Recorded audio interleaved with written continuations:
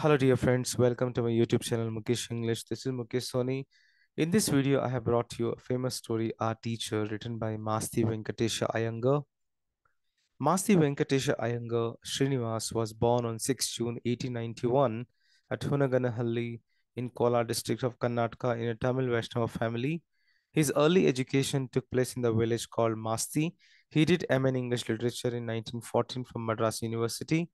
He passed the Mysore Civil Service examination and held various positions as an administrator. He was a well-known Kannada writer, Kannada writer.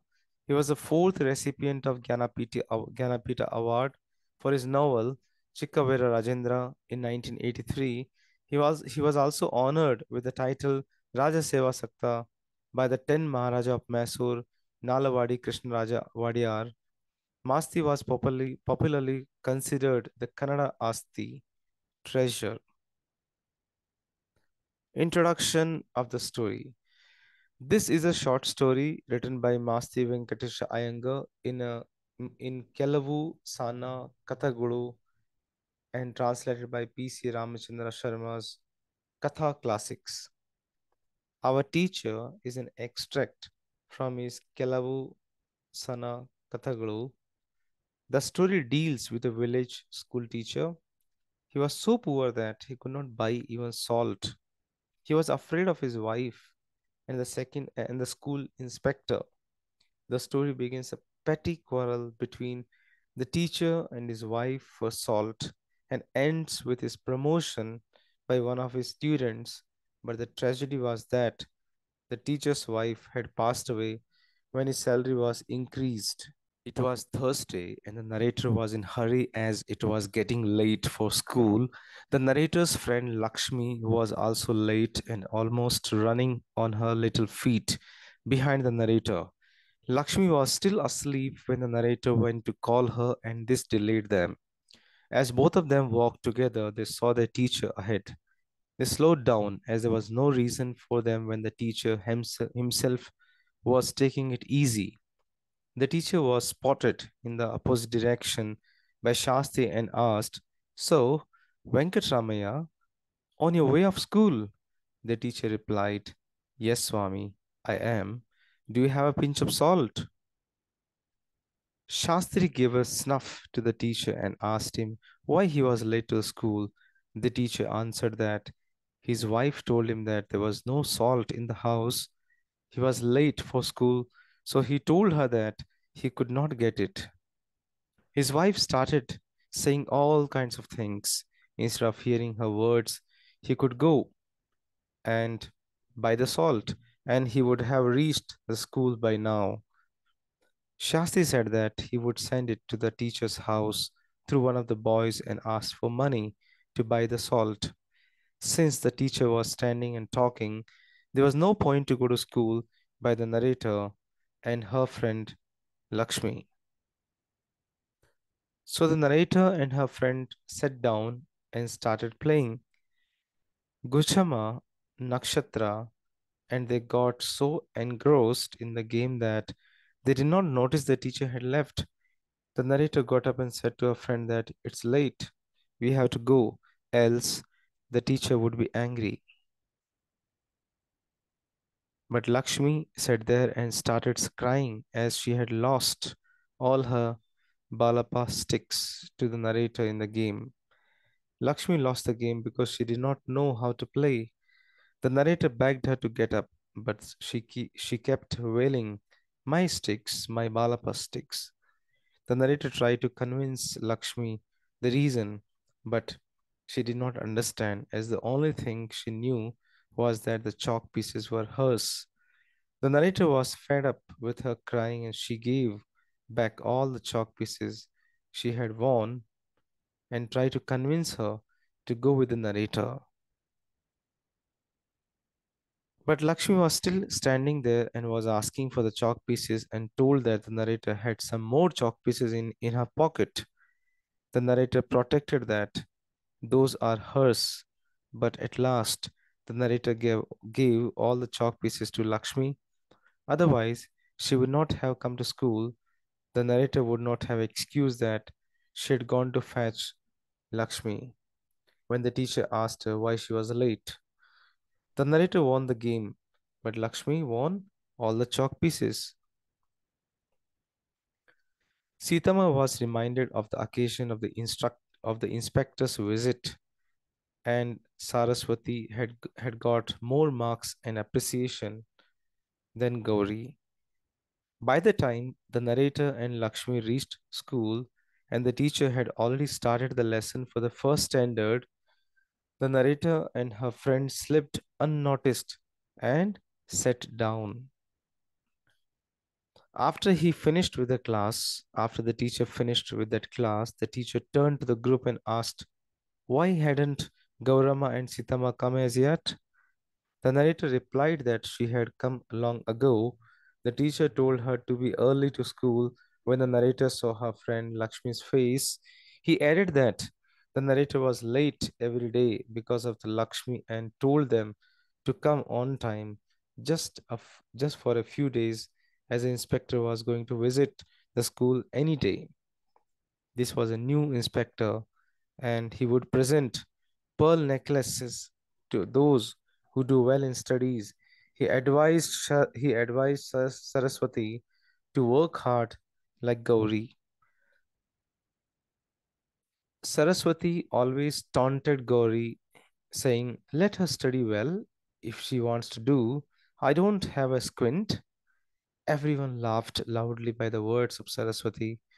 The teacher even wanted to laugh, but he controlled himself and scolded, Shh, you should not say such things. Saraswati was proud that there was nothing wrong with her nose and eyes, and she made fun of Gauri's squint. Most people are like Saraswati. It seems most of the girls are vain. Men do not realize that good looks do not come with education, and women do not know that you cannot pass an exam by, by the beauty alone. Some of the girls, like Saraswati, thought that beauty was everything. After all, she had been praised by the inspector the previous year, even though she had not learned the lesson. That was the day Gauri and Saraswati, who were friends until then, fell out. The previous inspector had asked her what a river was. Saraswati did not know, and the inspector turned to Gaurama and she repeated word by word all that was written in Raghunath Rao's geography books, geography book. The inspector advised Saraswati that only if you learn the lesson by heart, you will know. The inspector also asked another question to Gaurama, but she did not answer the question. The question was, How is river formed? It was Saraswati's turn. She replied, The water that falls here and there joins together to form a river. The inspector exclaimed, Shabash to Saraswati, and he turned to the teacher and complimented him. The inspector meant Saraswati, but the teacher was thinking the reference was to Gauri, and later the inspector realized that the teacher was talking about Gauri and he addressed Saraswati by asking her name. The teacher moaned that his rib cage has gone dry trying to teach Saraswati. From that day onwards, the two girls were no longer friends. Gauri would taunt Saraswati, and in reply, Saraswati would talk about her squint. The teacher would advise Saraswati to work hard like Gauri, and she would take that, that opportunity to humiliate her.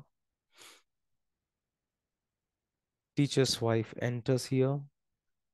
To return to that Thursday, teacher assigned some work to the students, but they were they were busy with eating snacks like uh, manchor, chakli, avlaki, which they had brought. No one had much interest in study except Gauri. The narrator waited for teacher to ask the students to submit the lessons. Meanwhile, the narrator thought that the teacher was thinking very practical about some metaphysical issue or about Rukku Samhite. As soon as the teacher saw his wife in the doorway, he imagined whatever was to take place at home was to happen in the school. In a slightly loud voice, his wife told him, I told you that there was no salt in the house, yet you went straight to school. What do you expect me to do? She argued that she would come to wherever he was, so the teacher scolded her, told her to borrow from the neighbors. If she comes to school, he may lose his reputation. Vice versa. Wife replied that, What about her self respect? If she borrowed rice, dal, salt, etc., from the neighbors every day, please inform if you don't have any money, you would eat without salt, but don't lie that you are getting late to school, told by the teacher's wife. In the meanwhile, all the girls were excited to see the Guru Damari, Guru Damari, which was a little kitten, very pretty to look. Lakshmi fed Tembitu to the little kitten. It showed special affection to her, so she was proud that the kitten loved her. She thought that she would not leave it alone. Now the real inspector enters to inspect the school. Lakshmi put the kitten on a lap in the classroom. Then inspector visited the classroom and asked, Are you the teacher here? The teacher replied, Yes, Mahaswami. He knew the Shastras and Vedas. He could recite the Raghu Vamsha and expound on philosophical matters. He was pure. He could not bear to see anyone suffering. That was the reason he had no money for salt. He was praised as a courageous man because he attacked a cobra by putting a pinch of snuff in the snake's mouth that made the snake giddy and it fell senseless. Even such a courageous soul was terrified of two things. One was his wife, and the other was the inspector, that is about the teacher. By seeing the teacher,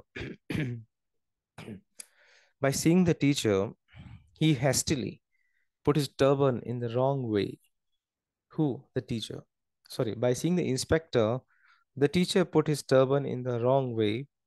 Inspector ordered him to put his turban the right way. The inspector saw the woman in the classroom and asked, Who is she? Is she a pupil? By the, by the time the teacher's wife seemed to realize that her action had created a situation which was more than she had expected, she replied, No, Mahaswami. Inspector thought that the teacher had caught hold of a mature one to teach. So he asked, Which class are you in? Teacher's wife got angry, left the room by muttering. But seeing this, Inspector thought that she might be an ayah. The inspector was annoyed because the teacher was replying, Mahaswami, Mahaswami. For all the questions, the teacher was replying only Mahaswami as an answer. Now, inspector started to question. The teacher requested to have the inspection tomorrow as he was tired. He requested the inspector that please do have inspection tomorrow because today he's tired. To relax, the inspector asked to sing a song from someone who sings well. then the teacher told Lakshmi was the best singer and ordered her sing to sing the one on King George. Since Lakshmi started to sing, the kitten was still on her lap. It wanted to come out from her lap, but it was not possible as she was trying to hide in folds of a dress. Inspector pointed to it, and in search of it, he put his hand to know what it was. The kitten was angry and scratched Lakshmi's stomach and also Inspector's hand. The inspector was angry and shouted at the teacher, Why can't you make them study? The teacher replied that they could run away from the school if he applied any rules. Mahaswami, I do not want to be disloyal to the hands like yours. His rage catch, his rage cage had gone dry. His sorry, his rage cage had gone dry, and trying to teach in the school. The inspector asked about his salary. He told that he was getting rupees 10 month, only rupees 10 per month. The inspector told that he would recommend for his salary to be increased for rupees 12 a month. He said that he would increase his salary from rupees 10 to 12, 12 per month. After three days of the narrator's marriage, teacher visited her and he was already blessed her. She would get a good husband. After a long time, one day, teacher visited the narrator to discuss about his promotion with a husband. The narrator's husband promised to help him, and the narrator narrates the story of a teacher to her husband. He laughed heartily. The teacher visited the narrator second time to thank. He told that his wife was no more and had left behind a girl child, and she had a hard time throughout. If she were here today, he would have bought a new sari. Her love for him was boundless, life giving kind. She was utterly guileless. She also told him to tell the truth that she was his wife, but the teacher told the truth to the inspector. At first, the inspector was very angry and laughed loudly by saying that instead of recommending him rupees 12 a month, he would have been raised it to rupees 15. The teacher was silent and realized that is there anyone who knows everything about another's life? So this is how the story ends. Dear friends, thank you so much for watching this video. You can reach me at mukeshenglish at the rate of gmail.com. Please do subscribe the channel, click on the like button for more videos on literature, workbook, pronunciation, grammar, communication skills, presentation skills, interview skills. Stay in tune with Mukesh English. Thank you once again.